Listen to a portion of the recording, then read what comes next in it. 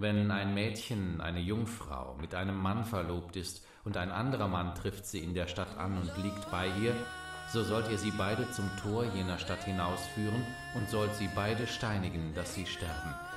Das Mädchen deshalb, weil sie in der Stadt nicht geschrien hat, der Mann deshalb, weil er die Frau seines Nächsten geschwächt hat. So sollst du das Böse aus deiner Mitte ausrotten. Wenn aber der Mann das Mädchen auf dem Feld antrifft und sie mit Gewalt ergreift und bei ihr liegt, so soll der Mann, der bei ihr gelegen hat, allein sterben. Dem Mädchen aber sollst du nichts tun, weil das Mädchen keine Sünde getan hat, die den Tod verdient. Denn es ist gleich, wie wenn jemand sich gegen seinen Nächsten aufmacht und ihn totschlägt, so verhält es sich auch damit. Denn er fand sie auf dem Feld, das verlobte Mädchen schrie, es gab aber niemand, der sie retten konnte. Wenn ein Mann bei einer Frau liegt und ihr beiwohnt und sie ist eine Dienstmagd und einem Mann verlobt, doch nicht losgekauft, und die Freiheit ist ihr nicht geschenkt, so soll eine Bestrafung stattfinden, aber sie sollen nicht sterben, denn sie ist nicht frei gewesen. Man soll auch keinen mit dem Bann belegten Menschen auslösen, sondern er soll unbedingt getötet werden. So bewahrt nun eure Seelen wohl, weil ihr keinerlei Gestalt gesehen habt an dem Tag, als der Herr aus dem Feuer heraus mit euch redete auf dem Berg Horeb, damit ihr nicht verderblich handelt und euch ein Bildnis macht, in der Gestalt irgendeines Götzenbildes, das Abbild eines männlichen oder weiblichen Wesens, das Abbild irgendeines Tieres, das auf Erden ist, das Abbild irgendeines Vogels, der am Himmel fliegt, das Abbild irgendeines Wesens, das auf dem Erdboden kriecht, das Abbild irgendeines Fisches, der im Wasser ist, tiefer als die Erdoberfläche. Dass du deine Augen auch nicht zum Himmel hebst und die Sonne und den Mond und die Sterne und das ganze Heer des Himmels anschaust und dich verführen lässt, sie anzubeten und ihnen zu dienen, die doch der Herr dein Gott allen Völkern unter dem ganzen Himmel zugeteilt hat. So hütet euch nun, dass ihr den Bund des Herrn eures Gottes nicht vergesst, den er mit euch gemacht hat und euch nicht ein Bildnis macht von irgendeiner Gestalt, was der Herr dein Gott dir verboten hat. Denn der Herr dein Gott ist ein verzehrendes Feuer, ein eifersüchtiger Gott. Wenn du nun Kinder und Kindeskinder zeugst und ihr euch in dem Land eingelebt habt und verderblich handelt und euch ein Bildnis macht von irgendeiner Gestalt und das tut, was böse ist in den Augen des Herrn eures Gottes, dass ihr ihn erzürnt, so rufe ich heute Himmel und Erde zu Zeugen gegen euch an, dass ihr gewiss bald ausgerottet werden sollt aus dem Land, in das ihr über den Jordan zieht, um es in Besitz zu nehmen.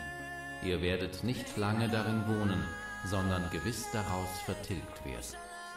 Verflucht sei, wer ein geschnitztes oder gegossenes Bild macht, das dem Herrn ein Greuel ist, ein Machwerk von Künstlerhand und es heimlich aufstellt, Verflucht sei, wer einen Blinden auf dem Weg irre führt. Du sollst die Grenze deines Nächsten nicht verrücken, welche die Vorfahren in deinem Erbteil gesetzt haben, dass du in dem Land erben wirst, das dir der Herr dein Gott zum Besitz geben will. Verflucht sei, wer die Grenze seines Nächsten verrückt. Ein einzelner Zeuge soll nicht gegen jemand auftreten wegen irgendeiner Schuld oder wegen irgendeiner Sünde, mit der man sich versündigen kann, sondern auf der Aussage von zwei oder drei Zeugen soll jede Sache beruhen. Wenn aber ein falscher Zeuge gegen jemand auftritt, um ihn einer Übertretung zu beschuldigen, so sollen die Männer, die Streit miteinander haben, vor den Herrn, vor die Priester und Richter treten, die zu jener Zeit im Amt sein werden, und die Richter sollen es genau erforschen. Stellt es sich heraus, dass der Zeuge ein falscher Zeuge ist und gegen seinen Bruder ein falsches Zeugnis abgelegt hat, so sollte ihm das antun, was er seinem Bruder antun wollte. So sollst du das Böse aus deiner Mitte ausrotten. Am zehnten Tag in diesem siebten Monat ist der Versöhnungstag, der soll euch eine heilige Versammlung sein. Und ihr sollt eure Seelen demütigen und dem Herrn ein Feueropfer darbringen. Und ihr sollt an diesem Tag keine Arbeit verrichten, denn es ist der Versöhnungstag, um Sühnung für euch zu erwirken vor dem Herrn, eurem Gott. Denn jede Seele, die sich an diesem Tag nicht demütigt, die soll ausgerottet werden aus ihrem Volk. Und die Seele, die an diesem Tag irgendeine Arbeit verrichtet, die will ich vertilgen mitten aus ihrem Volk. Ihr sollt keine Arbeit verrichten. Das ist eine ewig gültige Ordnung für eure künftigen Geschlechter an allen euren Wohnorten. Ein Sabbat der Ruhe soll es für euch sein, und ihr sollt eure Seelen demütigen. Am neunten Tag des Monats am Abend sollt ihr die Feier beginnen, und sie soll währen von einem Abend bis zum anderen. Und der Sohn einer israelitischen Frau, er war aber der Sohn eines ägyptischen Mannes, ging unter den Kindern Israels aus und ein. Dieser Sohn der israelitischen Frau und ein Israelit stritten im Lager miteinander. Da lästerte der Sohn der israelitischen Frau den Namen des Herrn und fluchte ihm. Daraufhin brachte man ihn zu Mose. Seine Mutter aber hieß Selomit und war die Tochter Dibris vom Stamm Dan. Und sie behielten ihn in Gewahrsam, bis ihnen ein Bescheid gegeben würde durch den Mund des Herrn. Und der Herr redete zu Mose und sprach, Führe den Flucher hinaus vor das Lager und lass alle, die es gehört haben, ihre Hand auf sein Haupt stützen, und die ganze Gemeinde soll ihn steinigen und rede zu den Kindern Israels und sprich, wer seinem Gott flucht, der soll seine Sünde tragen, und wer den Namen des Herrn lästert, der soll unbedingt getötet werden. Die ganze Gemeinde soll ihn unbedingt steinigen, sei es ein Fremdling oder ein Einheimischer. Wenn er den Namen lästert, so soll er sterben. Und du sollst den Namen deines Gottes nicht entweihen. Ich bin der Herr.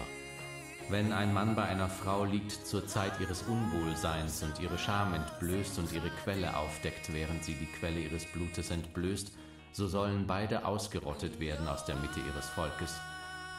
So erkenne nun, dass der Herr dein Gott der wahre Gott ist, der treue Gott, der den Bund und die Gnade denen bewahrt, die ihn lieben und seine Gebote bewahren auf tausend Generationen er vergilt aber auch jedem, der ihn hasst, ins Angesicht und bringt ihn um.